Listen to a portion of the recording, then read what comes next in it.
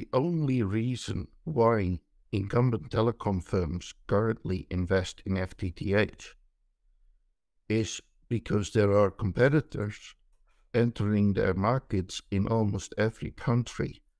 And if they don't build, somebody else will and steals away all the customers.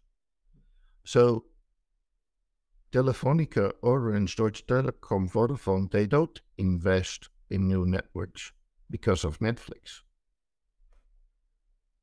Absolutely not. They couldn't care less.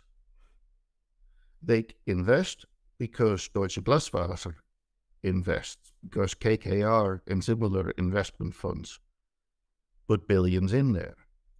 KPN invests because the pension fund of Deutsche Telekom is one of the investors in Open Dutch Fiber, which is rolling out um, over a million connections in competition with KPN.